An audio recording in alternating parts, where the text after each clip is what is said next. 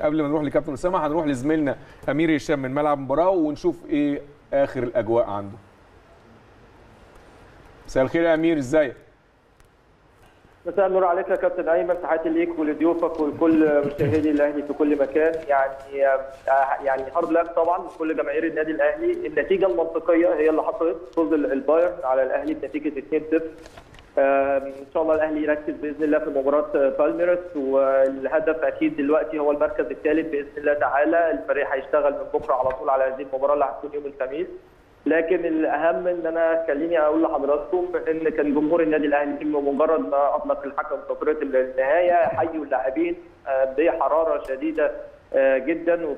يعني هتافاتهم أهم أهم أهم أبطال أفريقيا أهم ورجالة رجالة. ويعني يعني الشيء الطبيعي اللي دايما متعودين عليه من جمهور النادي الأهلي الكبير ايا كانت نتيجة المباراة لكن هم يعني مبسوطين من أداء النادي الأهلي النهارده رغم إن كان في يعني إمكانية إن إحنا نكون أفضل من كده كمان لكن في نفس الوقت أنت بتلاعب فريق بيلعب مستويات يعني عالية جدا جدا فهي النتيجة المنطقية لكن دايما جمهور النادي الأهلي دوره بيبقى بارز سواء في الفوز أو الهزيمة.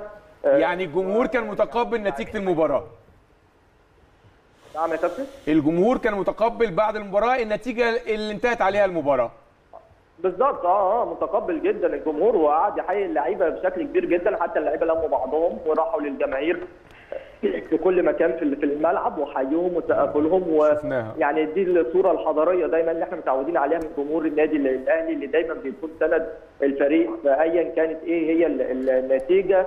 ويعني لحد دلوقتي خليني أقول لك إن في بعض من لاعبي النادي الأهلي بيعملوا بعض اللقاءات الصحفية عقب المباراة وأيضا بعض لاعبي بايرن ميونخ وجماهير يعني بعضهم لسه موجود وبيحاولوا يحيوا اللاعبين حتى هم بيعملوا اللقاءات يعني أجواء كلها في الحقيقة جيدة جدا وفي تقبل كبير للنتيجة. طبعا جمهور النادي الاهلي دايما بيبقى نفسه الأهلي يكسب لكن المنطقي طبعا إن البايرن بالمستوى العالي بتاعه هو اللي يفوز ويتأهل للدور النهائي. التفكير خلاص كله بقى في المباراة اللي جاية في الجراس إن شاء الله بإذن الله الأهلي يحاول يرجع مصر بالميداليه البرونزية بإذن الله. بإذن الله رب العالمين. طمني بقى على حالة اللعيبة. إحنا شفنا علي معلول جاله شد. أعتقد هيبقى من الصعب إنه يلحق الماتش الجاي. في حد تاني من اللعيبة حصل له حاجة؟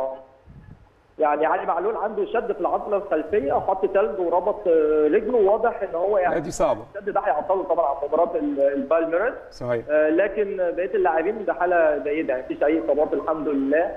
إلا بقى لو ما نرجع كمان الفندق هنشوف هل في حد عنده إجهاد مثلا عضلي أو حاجة ده لسه هيبان خلال الساعات اللي جاية. لكن حتى الآن ما فيش أي إصابة غير علي معلول بس في العضلة الخلفية. هل كان في رد فعل من مستر موسيماني على اللعيبة أديته خلال المباراة؟ لا لحد دلوقتي مفيش أي رد فعل هو حياهم وشكرهم على الأداء داخل ارضيه الملعب. ويعني قال كلام مقصد جدا بالنسبة للاعبين. وكان طبعا مصافحة ما بينه وما بين طبعا المدير الفني لباين هانس فليك. ويعني أجواء كانت طبيعية جدا ما بينهم. وطبعا بعض لاعبي النادي الأهلي يعني تبادلوا قمصان الفرقتين مع فريق بايرن ميونخ عقب انتهاء المباراة. ويعني الأجواء طبيعية والأمور جيدة ويعني الحمد لله على كل شيء وإن شاء الله بإذن الله قادم أفضل بالنسبة للنادي الأهلي. الفترة اللي بين المباراتين المباراة ديت والمباراة اللي الثالث والرابع فترة قصيرة جدا، هل مستر موسيماني كان قايل البرنامج إيه إيه اللي هيتعمل من بعد ماتش النهارده؟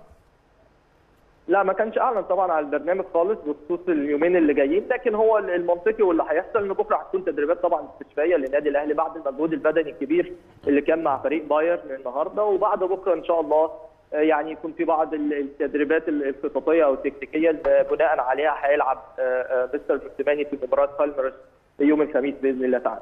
بإذن الله رب العالمين متواصلين معاك برضو يا أمير وإن شاء الله لما توصل الفندق تقول لنا آخر الأخبار عندك إيه؟ ألف ألف شكر لزميل العزيز أمير هشام.